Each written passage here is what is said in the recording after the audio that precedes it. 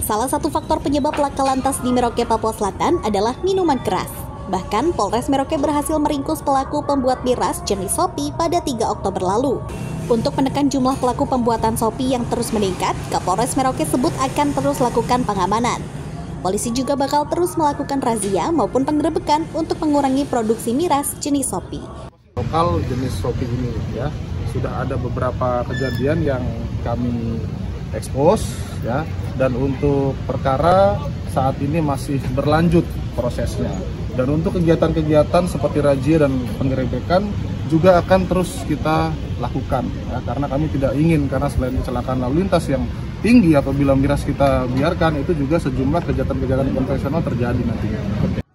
Jessica Ardana, Kompas TV Merauke, Papua Selatan.